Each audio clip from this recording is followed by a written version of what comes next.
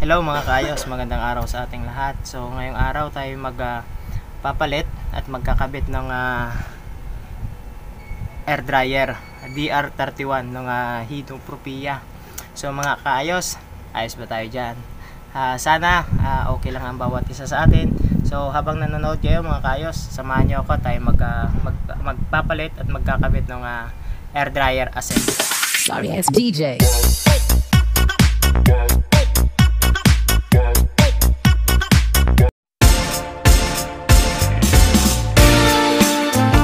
Mga kaayos, yan yung ating ah, papalitan yan.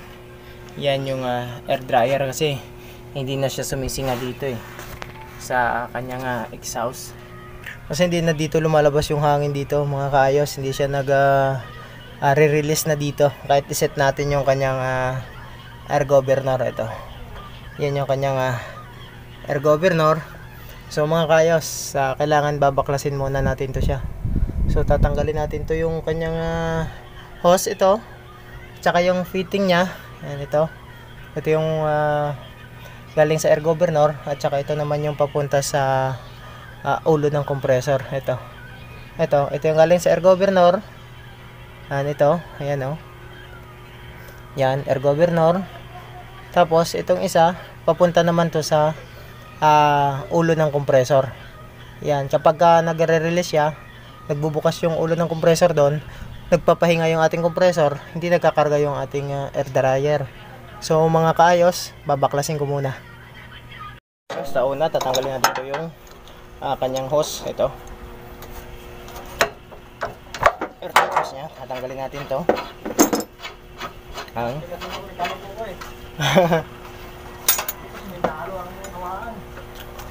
Tapos, ito. Yung sa may air dryer na nakadugtong tatanggalin din natin to. Ayan. Ayan na mga kaayos. Ito ayan tatanggalin natin to yung ha, hose na to. Ayan. Tatanggalin natin to siya.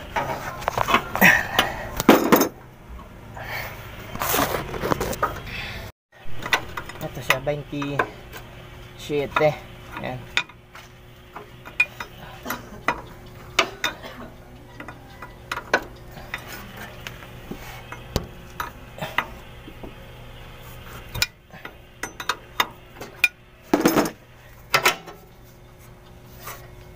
Ayan, natanggalan natin yung hose niya mga kaayos. So, susunod natin tatanggalin yung ah, air tank. Yung sa compressor hose niya galing na na fitting. Ito naman mga mga kaayos. na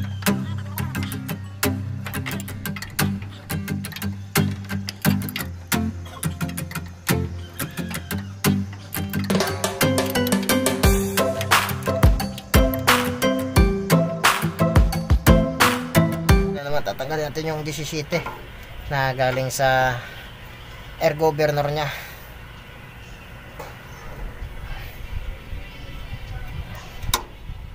Ah, may tubig. Yun. Tapos ito naman yung pa punta sa ulo ng compressor. Ito. Yung sa kanyang ah, konektado sa kanyang air governor. Pagkasinga niya, hindi yun. Pupunta to doon sa ulo ng compressor na sa intake niya. Kontra.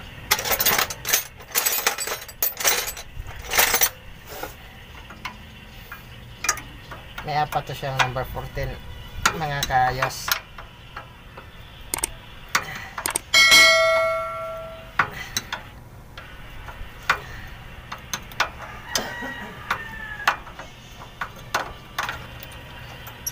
Yung tanggal na. Natanggal natin yung isa. So tatlong tornilyo na lang mga kaayos yung tatanggalin ko. Tanggal na mga kaayos. So na naman tong isa.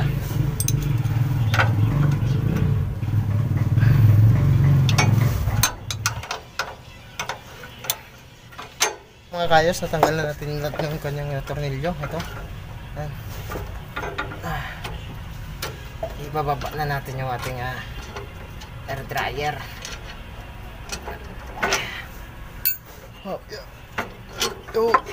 So, mga kayos, ito na yung ating pinaklas. Oh. Daming tubig. Oh. Ayan. Dami yung tubig mga kayos. Ito ibig sabihin, ah, barado na to yung ating yung lumang ah, air dryer.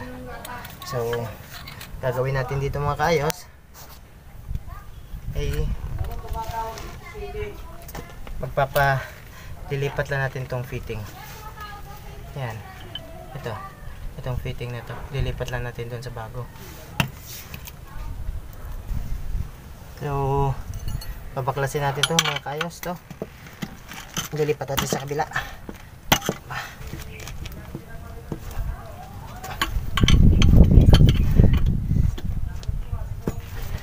ay yung ito yung fitting nito ito yung dito yung nakakonect yung galing sa ating compressor.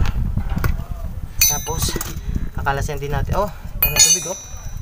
Oh Ayan, tubig mga kayos tsaka itong ating ah, isa pa yung maliit yung nakakabit yung ating ah, air governor.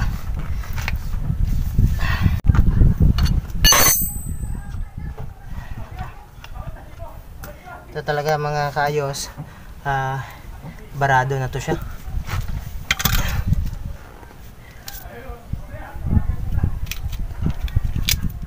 So bago natin siya ikabit mga kayos lalagyan mo natin siya ng teflon. Yan.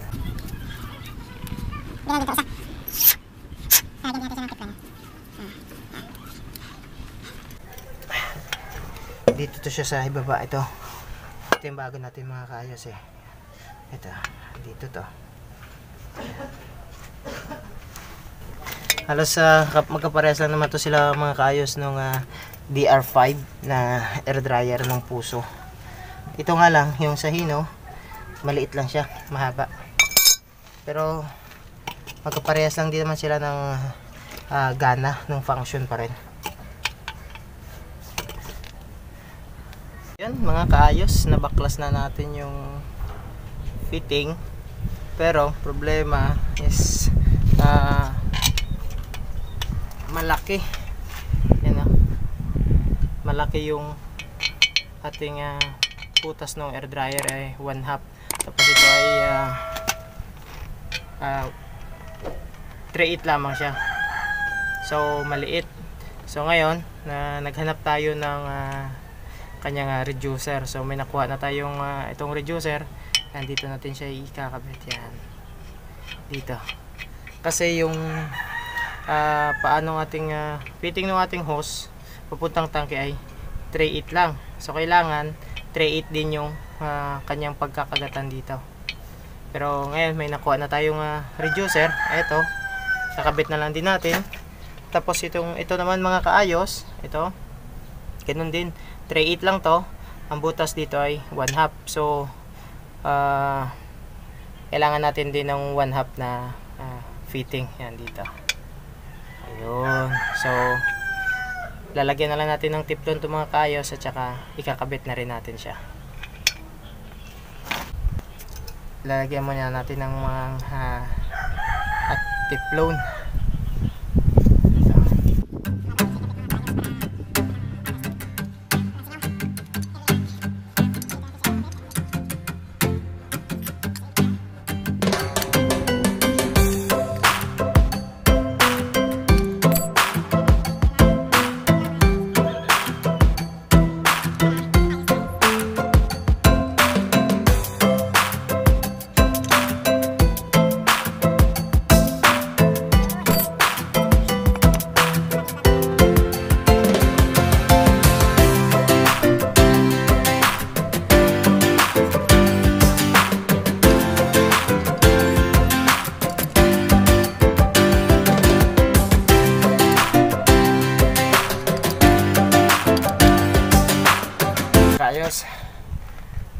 natin yung kanyang ah, fitting. Ito. Ito yung ah, supply na galing sa compressor mismo natin.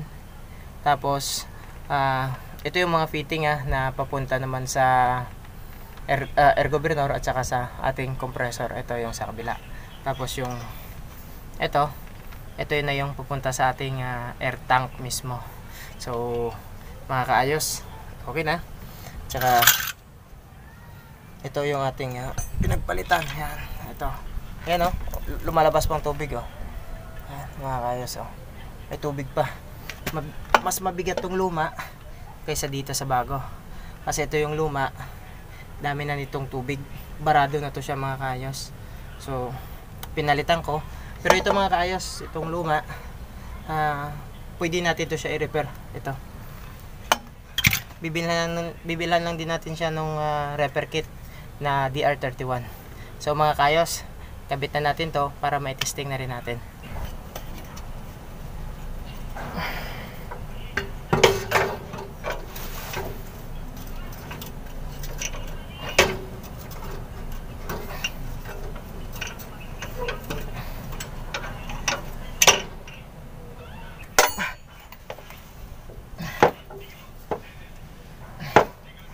Kita natin siya mga kayos.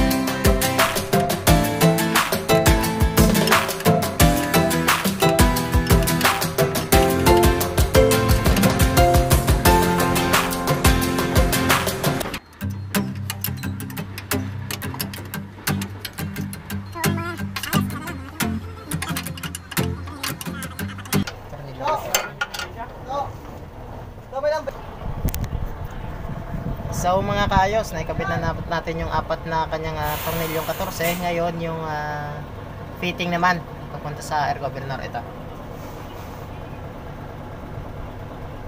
Ito mga kaayos. Yan, ito. At saka ito. So ikakabit muna natin mga kaayos. So,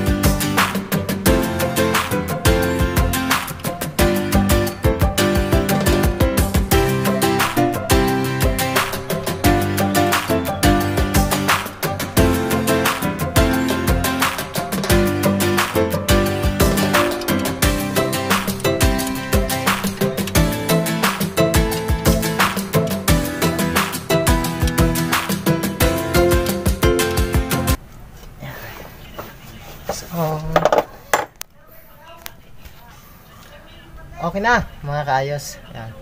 Yung ah, hose na lang yung kakabit natin. Okay mga kaayos, hose na lang ibabalik natin dito. Kakabit natin. Tapos bago natin siya ikabit, lagyan din natin ito siya ng ah, teflon. Yan, meron to siya teflon.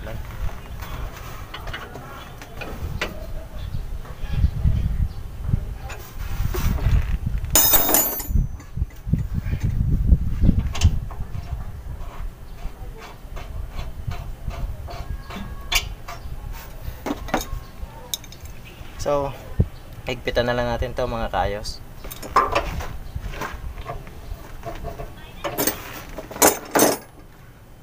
Yan, okay na mga kaayos. Uh, papandarin ko na ngayon yung ating ah, truck para malaman natin yung karga ng kanyang ah, hangin kung hanggang saan yung ah, pressure bago siya mag-release. Tara, testing natin mga kaayos. Yan mga kaayos, nasa 9.30 na yung kanyang ah, hangin. So pupunta tayo dun sa baba, antayin natin na mag-release yung ating ah, air dryer na ikinabit.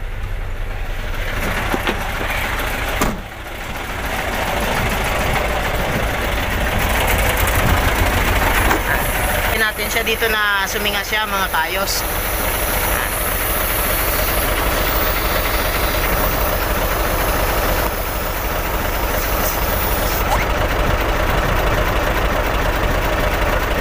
Sisingayan siya dito mga kaayos pagka inabot niya na yung ah, adjust nung ano ah, ating air governor na kapag umabot na sa ganung ah, pressure ng hangin ah, magre-release na yan siya. So antay-antayin na natin mga kaayos. Pupos ngat yan siya dito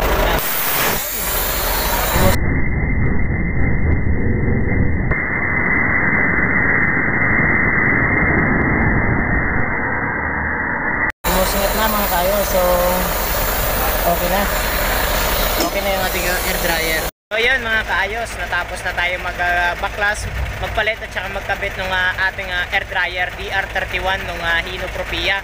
At saka na-testing na din naman natin, yun nakita natin na pumusngat nga siya, suminga na. Ibig sabihin, ah, maganda, hindi na siya barado. So dapat ganun mga kaayos yung ating uh, air dryer uh, pumupos nga talaga yan siya kapag uh, umabot doon sa gauge o sa number sa pressure ng hangin na ating uh, isinet doon sa ating uh, air governor. So yun lang mga mga kayos. Maraming maraming salamat at saka shoutout nga pala kay Billy Boy Diskitito ng uh, Makibela Tracking. Uh, no, maraming maraming salamat sa suporta. So, sa mga hindi pa po nakapag-subscribe sa aking YouTube channel, please subscribe, like, and share. At saka press na lang din po ng notification bell para maging updated pa po kayo sa mga videos natin gagawin. So, yun lang guys. Maraming salamat. Ingat!